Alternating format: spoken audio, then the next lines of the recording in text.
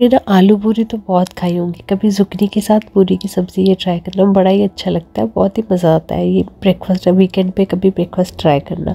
तो तेल लेना, उसमें थोड़ा जीरा डालना मस्टर्ड सीड डालने आपको फैनल सीड मतलब सौंफ, और थोड़ा सा इसमें ना मेथी दाना डालना। मेथी दाने को जलाना मत, बस आप छौंक में डालते ही लहसुन और प्याज भी डाल देना, फिर उसके बाद थोड़ा सा जब ये सौते हो जाए तो टमाटर डालना, हरी मिर्ची डालना, नमक, मिर्च, धनिया पाउडर बस ये बेसिक मसाले डालेंगे और लाल मिर्ची डाल देनी है। जैसे उसको हल्का सा पकाना, फिर आपको इसमें जुगनी डाल देनी क्योंकि सूखी सब्जियों में ना मसाला ज़्यादा भूनना ज़रूरी होता। है सब्ज़ी को एंड में भूनना वो इंपॉर्टेंट होता है। आप जब जुकनी आधी पक जाएगी, क्योंकि वो अपने पानी में ही पक जाएगी, खुद का पानी रिलीज़ करेगी और उसमें पक जाएगी। लास्ट में जब ये आधी पक जाए तो आप इसमें थोड़ा सा आमचूर इतनी सी चीनी, ज़रा सी वो डाल के पकाना। फिर लास्ट में इसको देसी घी के साथ ना दो चम्मच डालना और उसको ड्राई कर लेना और पूरी के साथ बनाना और खाना।